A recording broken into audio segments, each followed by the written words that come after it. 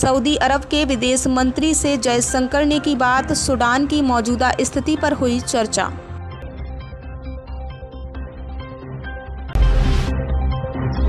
Supreme court को BJP सरकारों ने दिखाई आँखें। बिल्किस के 11 दोषियों की रिहाई की फ़ाइल दिखाने से किया इनकार।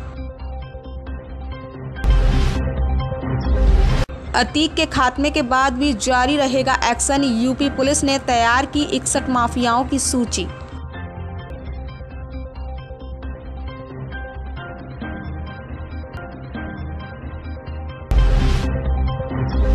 इंदिरा गांधी कृषि विश्वविद्यालय का नौवा दीक्षा समारोह, डिग्री और मेडल पाकर खिल उठे छात्राओं के चेहरे।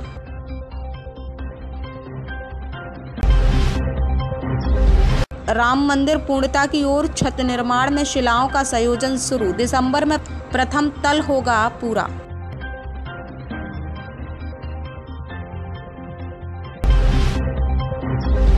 एक सौ छप्पन देशों से लाए, जल्द से होगा रामलला का भव्य जलाभिषेक।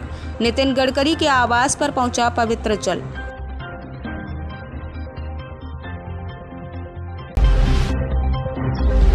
इंदौर में मेघा पाटकर की अनिश्चितकालीन सत्याग्रह, नर्मदा घाटी प्राधिकरण के परिसर में डटे सैकड़ों विस्थापित। पिकअप व डंपर की आमने सामने टक्कर, बेटी की सगाई से लौट रहे पिता व एक रिश्तेदार की मौत, कई लोग हुए घायल।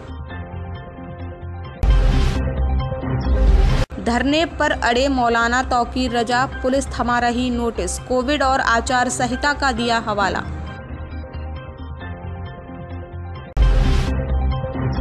केजरीवाल सरकार का बड़ा फैसला 16 विभागों के 70 पेचीदा नियम खत्म, महिलाएँ कर सकेंगी नाइट ड्यूटी।